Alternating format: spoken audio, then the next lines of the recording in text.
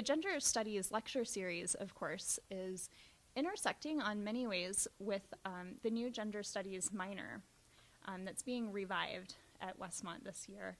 And so, if you're interested in knowing more about the Gender Studies minor, Dr. Cheri Larsen Hoeckley is a great contact person for you. She has been spearheading the effort to, um, yes, there she is, to um, bring this minor back as an integrated part of um, Westmont degree.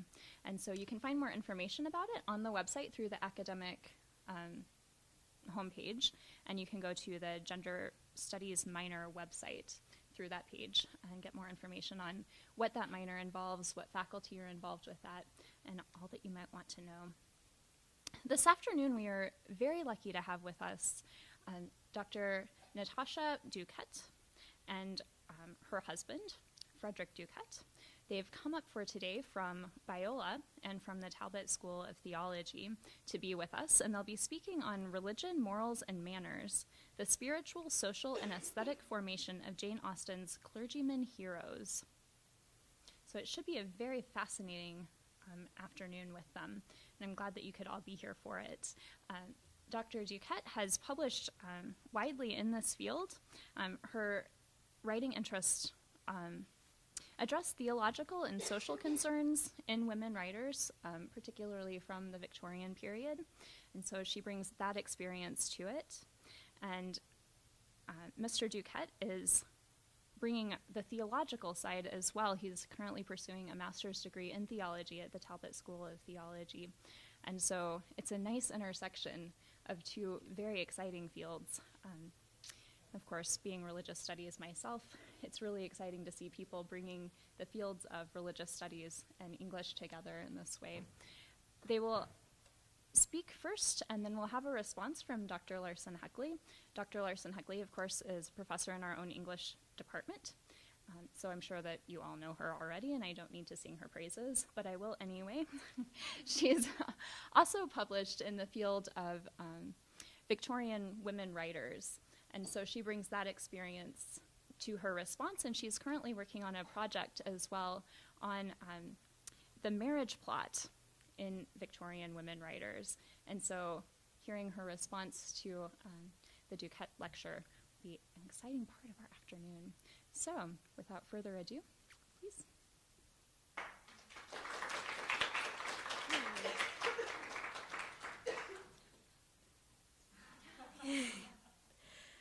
Okay, and it's important to place Austen um, very carefully historically. She's often thought of along with the Victorian novelist, but she was actually writing in the Regency period, right before the Victorian period. So she had passed away by the time Queen Victoria came to the throne. So she's more uh, pre Victorian context for those later writers like Charlotte Bronte. Okay, before we begin, I would like to thank Biola University for a Biola research grant that has enabled this research that Fred and I are doing together. okay, so through analysis of Jane Austen's clergymen in training, Henry Tilney, Edward Ferrars, and Edmund Bertram, this paper will consider whether aesthetic judgment and spiritual discernment are formed most effectively through university education or through human relationship. Austen is often perceived as an anti clerical satirist due to her infamously comic but minor uh, uh, character, Mr. Collins, in Pride and Prejudice. Less attention has been paid to the subtle character development of the sensitive and compassionate clergymen who take their call to service seriously, and that would be Henry Tilney, Edward Ferrars, and Edmund Bertram, each engaged to an Austen heroine by the end of Northanger Abbey, Sense and Sensibility, and Mansfield Park, respectively. Austen was the daughter and sister of ordained clergymen, and she termed Mansfield Park her, quote, novel about ordination. Through each of her clergyman heroes, Austen shows that an Oxford education in aesthetic as well as theological judgment will not prompt spiritual formation on its own. It is through serious experiential errors in practical judgment that her clergyman heroes experience a degree of emotional pain, discover humility, and mature spiritually. And C.S. Lewis has written about this in her heroines, and we're chasing a similar pattern in the heroes as well. Eventually, Austen's clergymen in training move past the assured hubris of aesthetic, intellectual, and emotional certainties towards a greater openness to the possibility of learning from others' perspectives, including the heroines, which leads to their fuller perception of reality.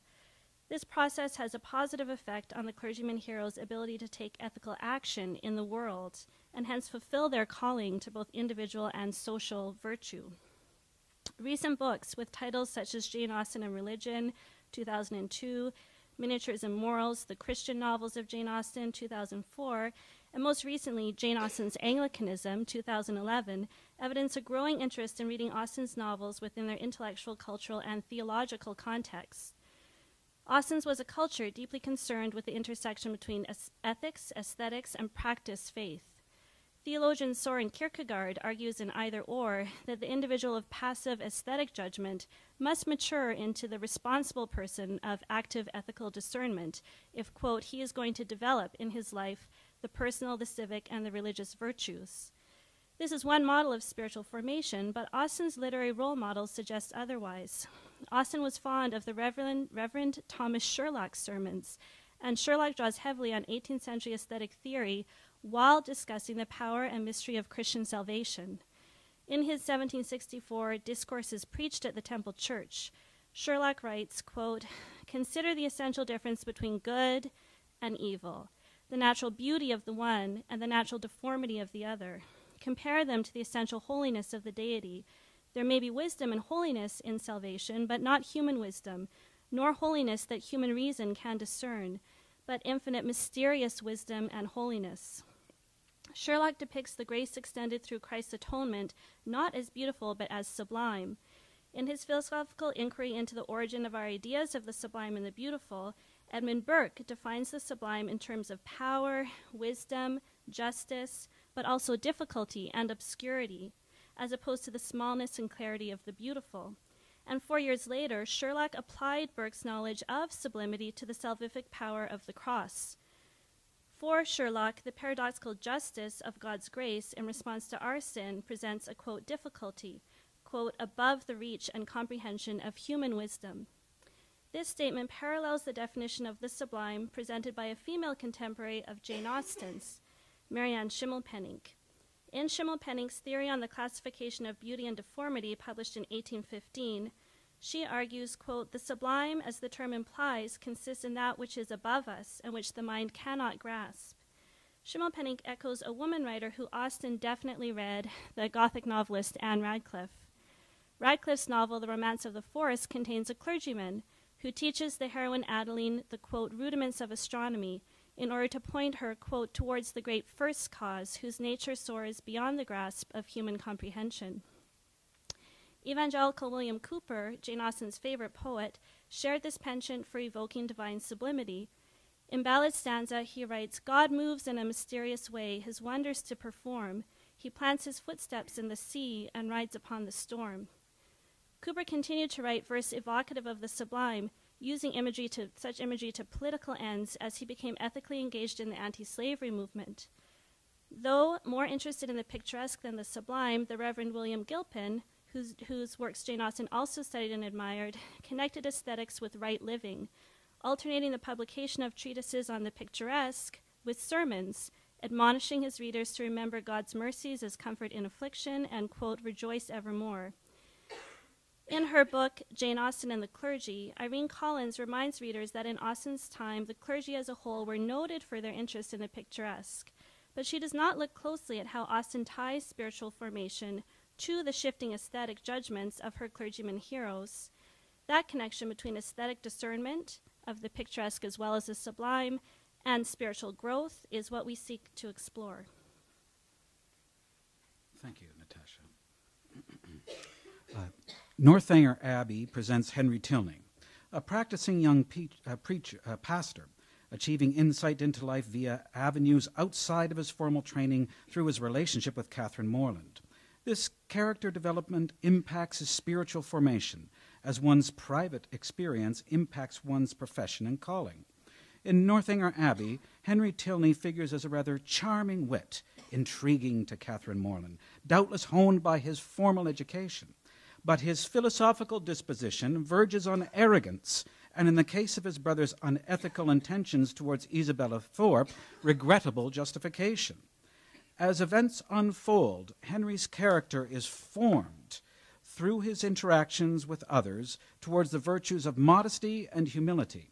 How does Austen consider this impact, and how are we, as readers, to consider it? Um, in Northang- Northanger Abbey, interactions between Catherine Morland and Henry Tilney act as a catalyst for character formation. The Apostle Paul nominates love as the greatest of spiritual gifts.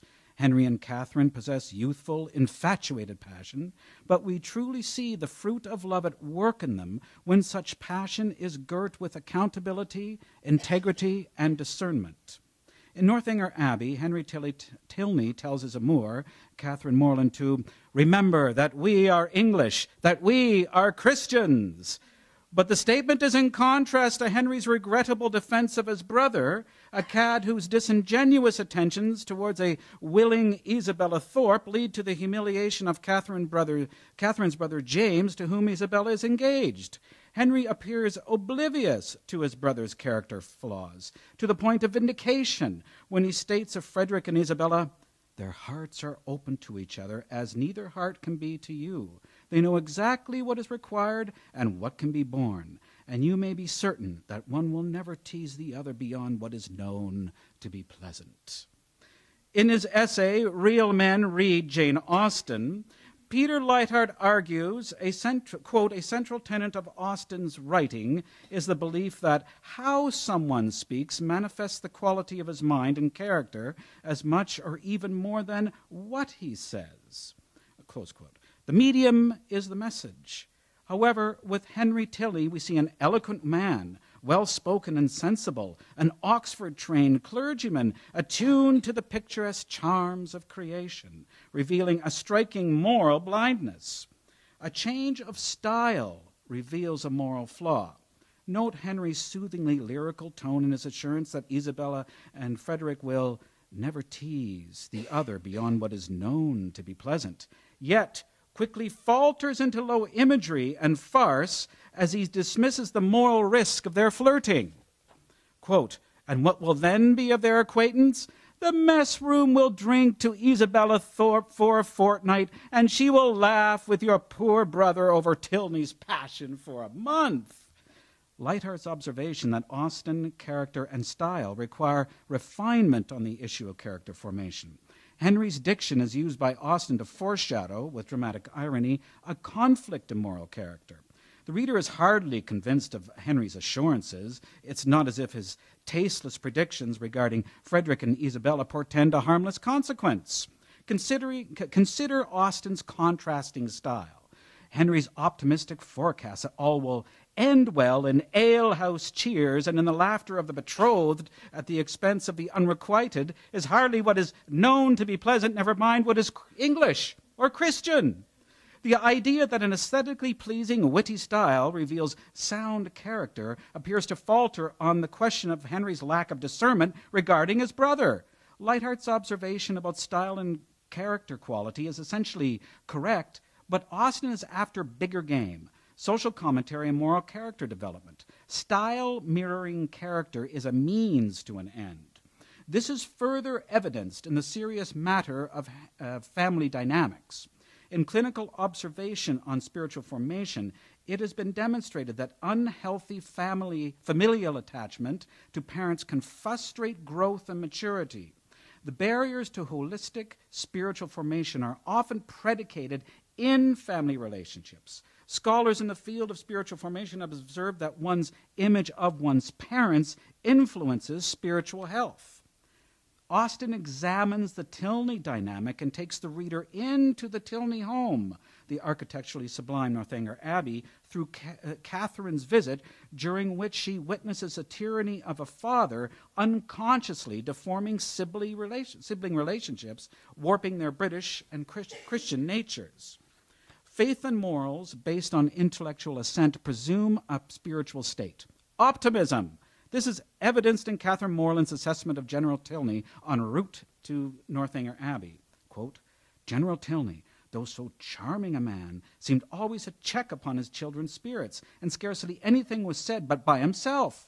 the observation of which, with his discontent at whatever the inn afforded and his angry impatience at the waiters, made Catherine grow every moment more in awe of him. Close quote. Catherine's reading of Tilney as himself sublimely awe inspiring is inherently trusting and assumes the good, that his behavior implies something greater than that of an objectionable or ill tempered boor imprisoned by the malcontentedness that only superfluous wealth can bring. Hence, the paradox of Catherine's assent to a greater good, she attributes the universal to all particulars, and in doing so loses discernment in idealism.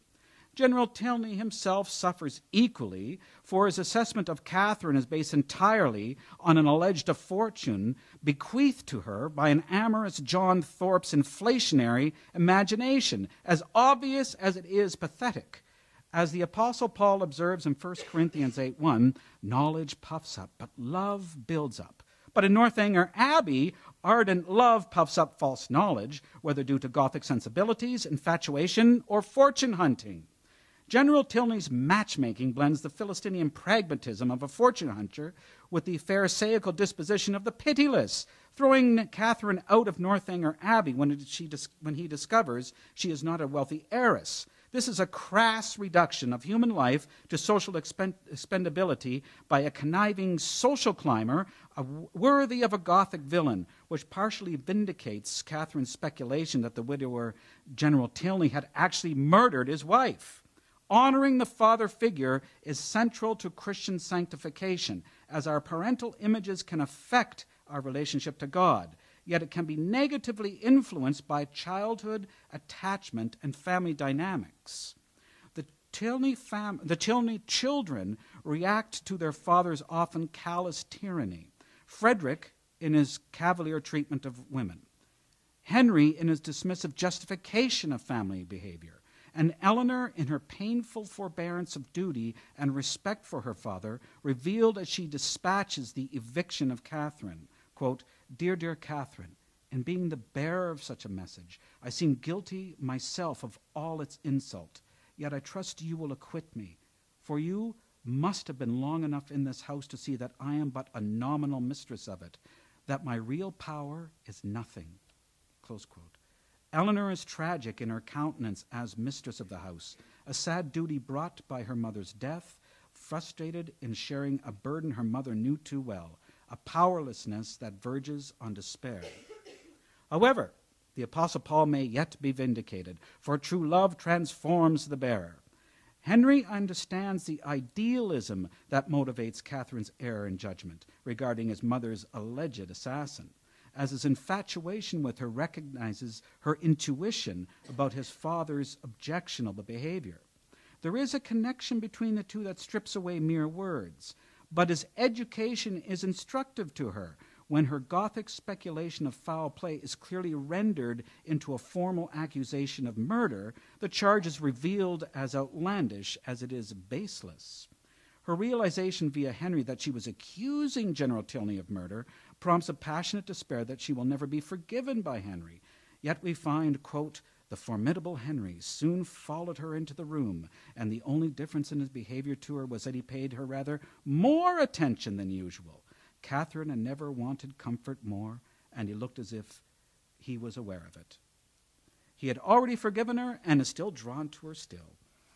Catherine learned something of herself through Henry. Quote, it had all been a voluntary, self created delusion each trifling circumstance receiving importance from an imagination resolved on alarm, and everything forced to bend to one purpose by a mind which, before she entered the abbey, had been craving to be frightened. Yet Henry too is equally transfigured by this marriage of passion, reason, and virtue. Henry is not quite so formidable that he does not have something to learn from Catherine, to whom he offers his hands, prompted by the indignation against her unjust treatment by her father, a member of what Henry now understands to be a, quote, forward bragging, scheming race, close quote. Henry is so convicted by his love for Catherine that he now stands up to his father, risking his own exile. His father, quote, could not intimidate Henry, who was sustained in his purpose by a conviction of its justice. He felt himself bound as much in honor as in affection to Miss Morland, and believing that, that heart to be his own, which he had been directed to gain, no unworthy retraction of, ta- of a tacit consent, no reversing decree of unjusti- unjustifiable anger could shake his fidelity or influence the resolutions it prompted. The general was furious in his anger, and they parted in dreadful disagreement. Close quote. Um, Note he is sustained in his purpose by a conviction of justice, a formidable ally in the assertion of his own will and the quality of his character. To merely plead to, for Catherine on the basis of his affection alone would have invited scoffs and derision. His ethical voice, engaged with passion, utterly demolishes his father's pretensions. The formation of his character was frustrated by his father, a matter he suppressed until a woman engaged him to be a man, breaking him out of the family compact and into his own, a formation of the spirit that cannot be taught, only learned, that to be English and Christian are more than what is generally understood to be.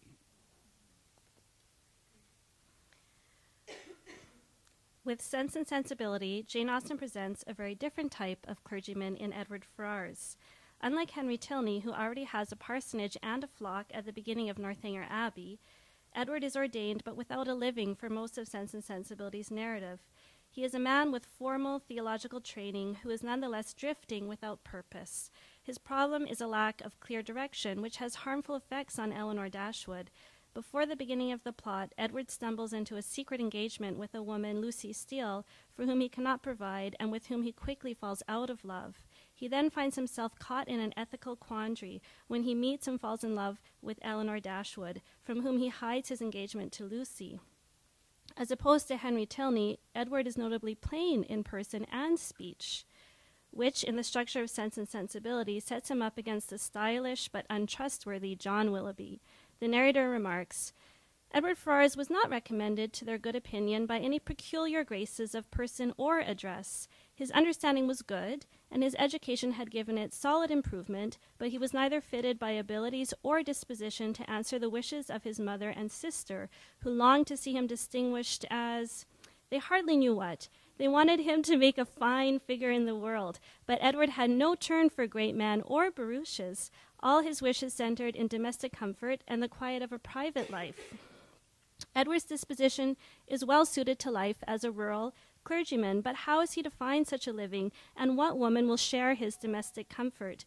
These are the questions that vex him and the reader for the bulk of the novel. Edward is more a man of subdued sense than spectacular sensibility, which causes Marianne Dashwood to condemn him as lacking in aesthetic judgment, revealing an 18th century proclivity for connecting spirituality, ethics, and aesthetics. Marianne judges Edmund by exclaiming, His eyes want all that spirit, that fire, which at once announce virtue and intelligence. He has no real taste. She claims that Edward admires Elinor's paintings, but does not truly understand their worth it is important to remember that Marianne embodies excessive hyperbolic sensibility and that she shows a lack of taste and discernment herself when she's taken in by the dramatic Willoughby. Austen engages with philosophical debate on the nature of true versus artificial taste by setting up Edward's, quote, natural taste which is marked by propriety, simplicity, justness, correctness, delicacy, and purity, against Willoughby's false displays of taste, which take in Marianne. Austen draws on David Hume's countering of the false, quote, delicacy of taste which everyone pretends to, with true delicacy of taste, which Hume defines as uh, the person with organs so fine as to allow nothing to escape them, and at the same time so exact as to perceive every ingredient in the composition. Elinor essentially claims this Humean true delicacy of taste for Edward and ties it to justness and moral propriety. However, her own remarks on true taste are clouded by romantic love. And even as Edward shows what Elinor perceives as correct aesthetic judgment, he is flirting with her while being engaged to another woman, Lucy Steele. Elinor's pronouncements on Edward's good taste may also be influenced by artistic pride, as Edward shows this propriety of taste while admiring the work of her own hand, her paintings. Austen further complicates her response to David Hume by deploying Humean vocabulary with critical irony later in the novel when Edward's coxcomical brother, Robert Ferrars, holds back customers in a London shop due to his need to exercise fine tuned aesthetic judgment. Elinor and Marianne, who've come to the shop to sell their mother's jewels, wait behind him, and the narrator observes Elinor was not without hopes of exciting his politeness to a quicker dispatch, but the correctness of his eye and the delicacy of his taste proved to be beyond his politeness. He was giving orders for a toothpick case for himself. After a full 15 minutes have passed, Robert Ferrars makes his judgment, quote, The ivory, the gold, and the pearls all receive their appointment, and the gentleman, ha- gentleman having named the last day on which his existence could be continued without the possession of the toothpick case, drew on his gloves with leisurely care. In her satiric caricature of an urbane and self obsessed man of fashion, an amoral connoisseur of natural resources imported from exploited, imported from exploited colonies, ivory, gold, and pearls, Austen points out the social limits of aesthetics, indicating that no matter how delicate, taste should not come before ethics. Austen's critique, suggested explicitly in the case of Robert Ferrars and more implicitly in his brother Edward, appears Kierkegaardian here viewing aesthetic judgment as a childish thing in tension with adult, ethical commitments. But Austen does allow Edward to embrace another type of aesthetic, the sublime, near the very end of the narrative. The somewhat passive Edward receives two unexpected gifts of sublime grace towards the end of Sense and Sensibility.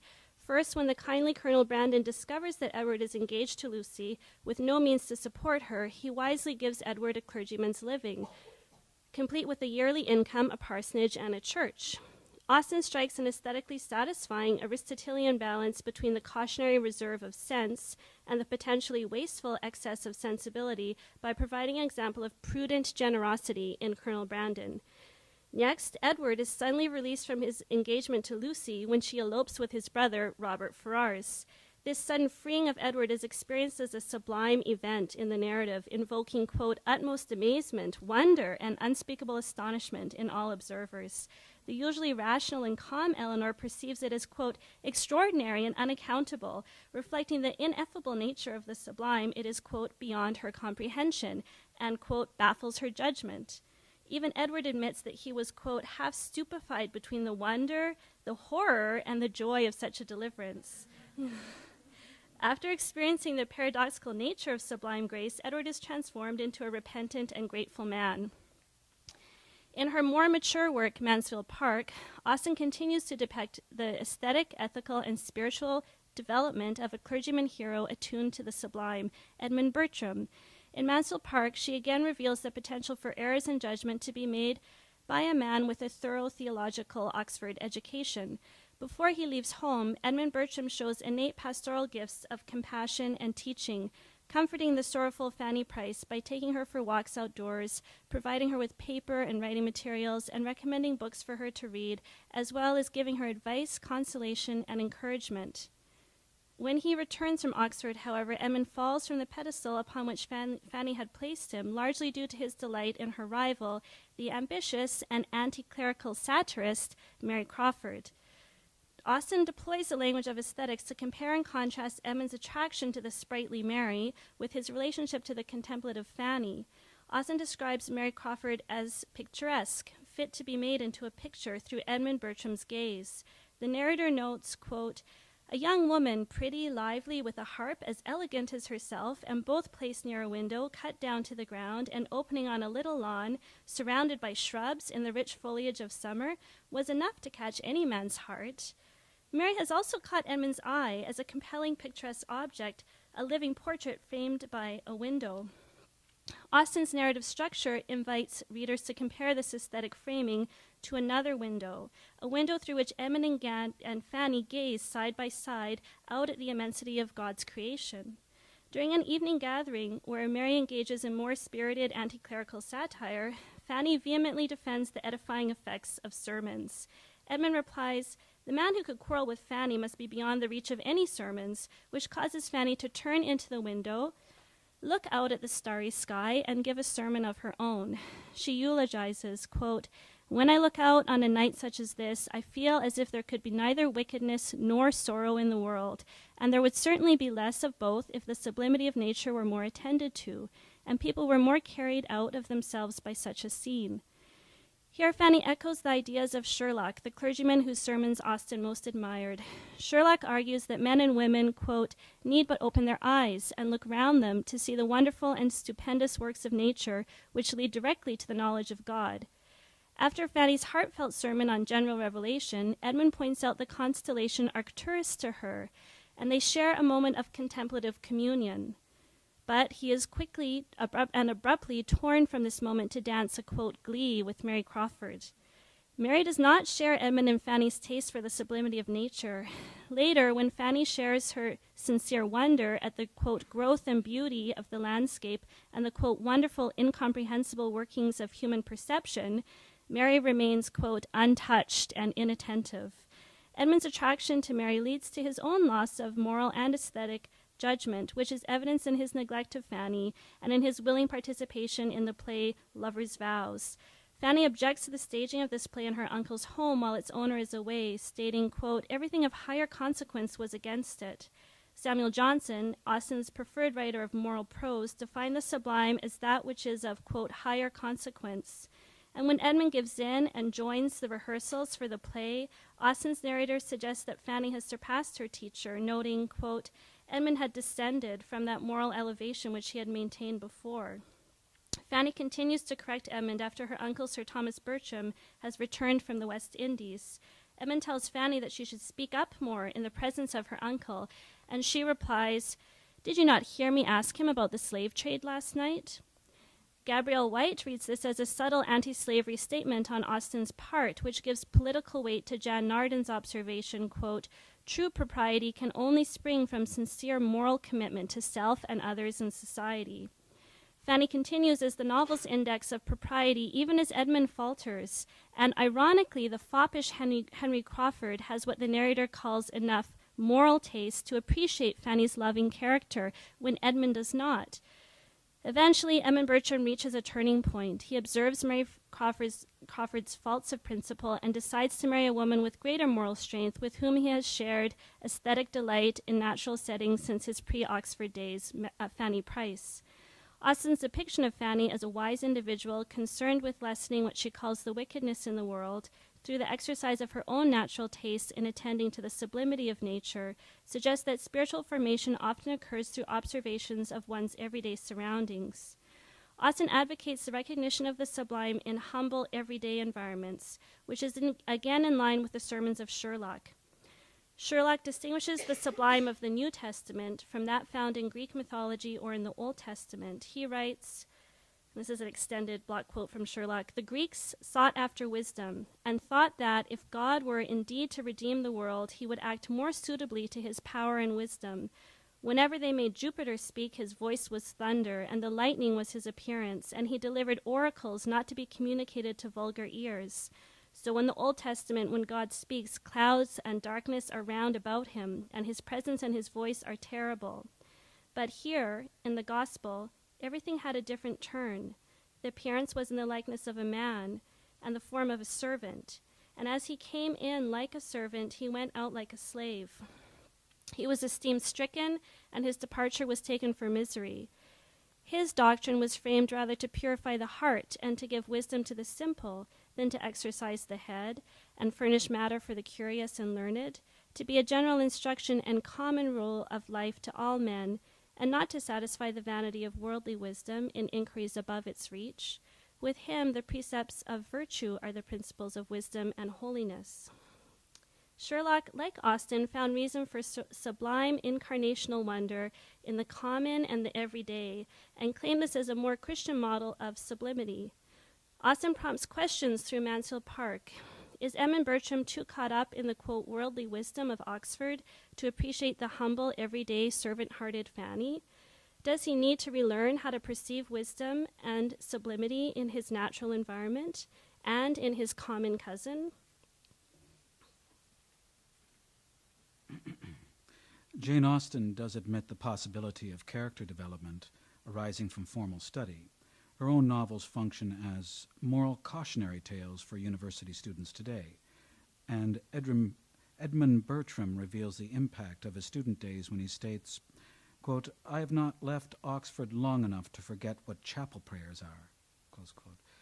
However, As 19th century women barred from an, uh, an official Oxbridge, Oxbridge education, Austen places strongest emphasis on character growth within the dynamics of familial relationships, on experiential knowledge that arises out of gracious release from the consequences of past errors, and on an ethical extension outwards towards God and neighbor that results from attending to the sublime in one's everyday surroundings.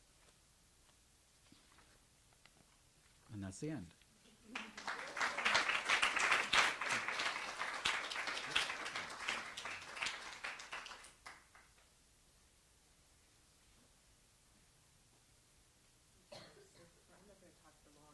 sit for a while before we do questions? We don't have to keep standing.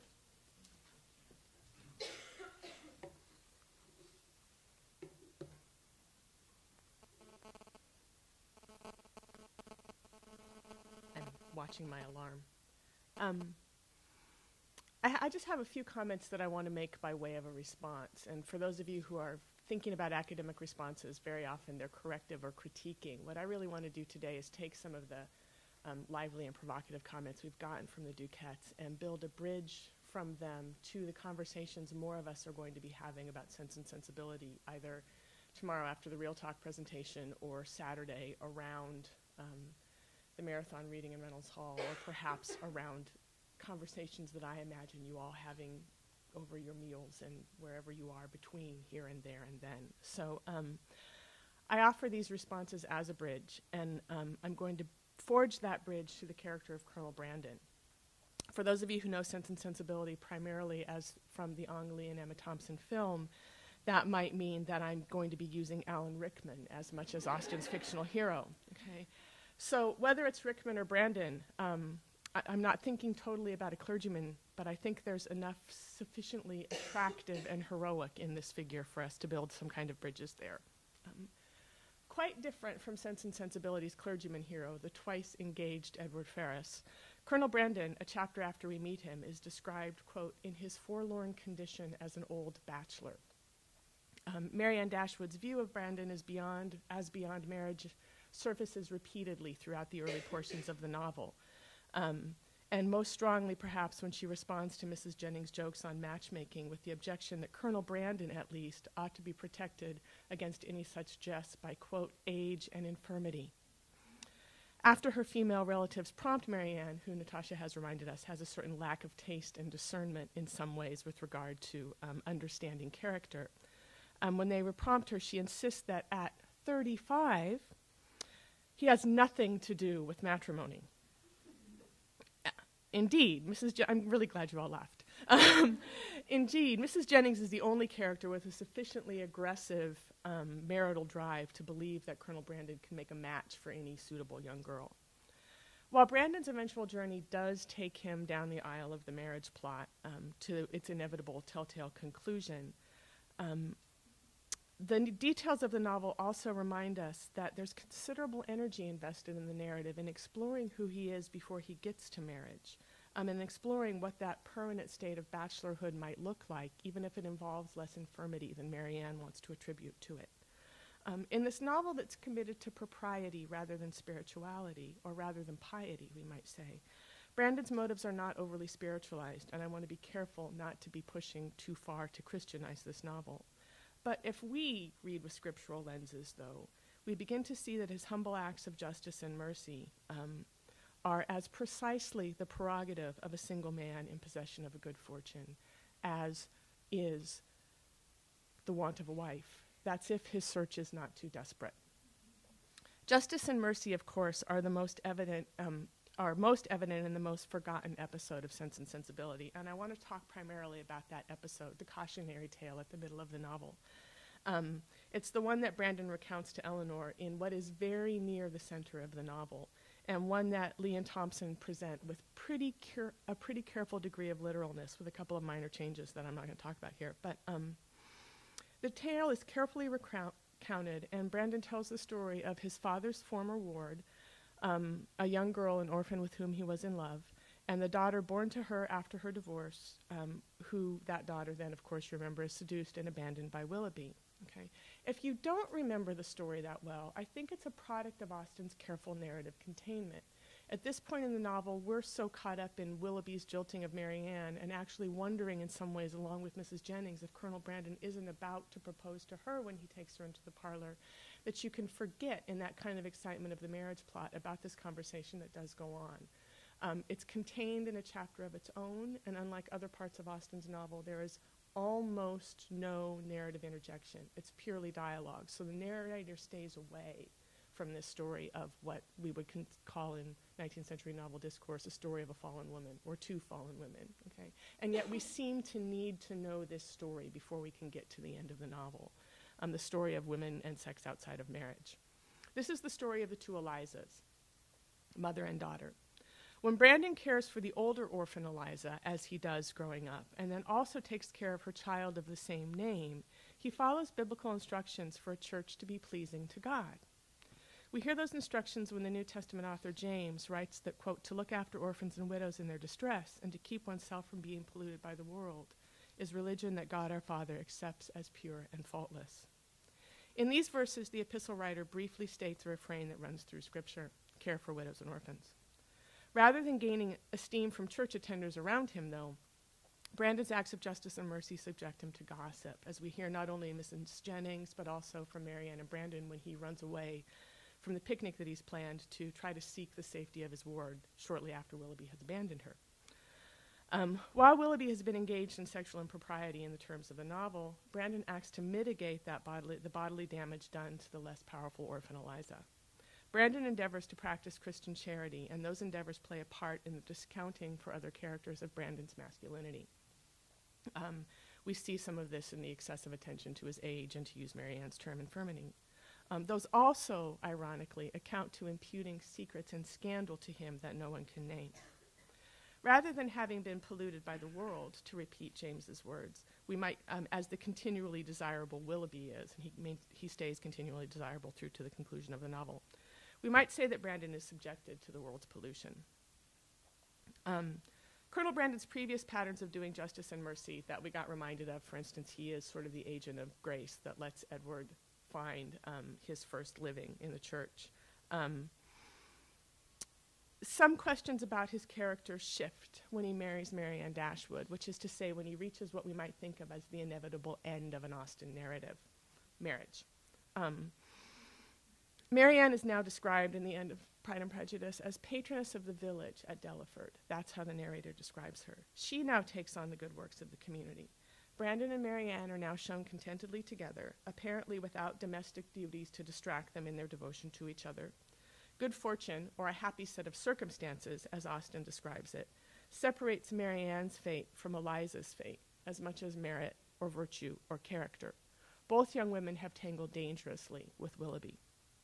Grace might be another term to describe Marianne's unmerited felicity, Yet I'd say, want to argue again here that it's both unwise and unfaithful to defend Marianne by assuming that she earned the grace that Eliza never enjoys, or to assume that a fictional character earns grace. That raises other kinds of problems for us. Um, it would take a willfully erroneous reader of Austen, I think, that's to say, to insist that the double sister marriage that concludes Sense and Sensibility does not have a certain triumphant joy. It does when we get there. Something is right with the world. Elinor and Marianne have navigated the aisles of the marriage market and come through with husbands who together create a community where those involved can flourish. The happy ending of the novel with two sisters who manage never to quarrel or to bring quarrels among their husbands is fine.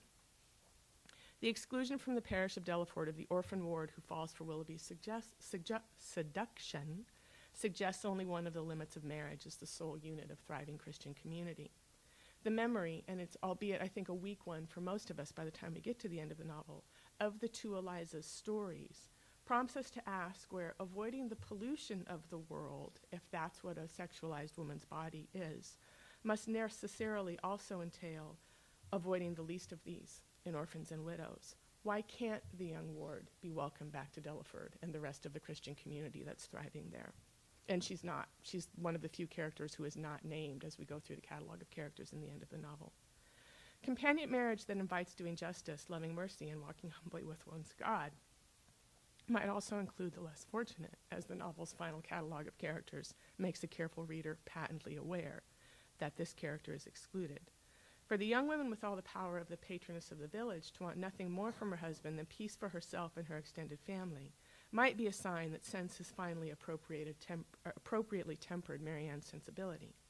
It's also clearly a sign that together, sense and sensibility have not strengthened her charity. But the combination seems to have tempered her husband's charity. Marianne here is by no means lamentable, but there is a clear cost to the work of the gospel that Brand- Brandon was doing as a single man. Through Colonel Brandon, Austen reminds us that effectively formative relationships in marriage plot novels, spiritual development, we might say, and in Christian community are not limited to formation of relationships through romantic couples or even through our biological families.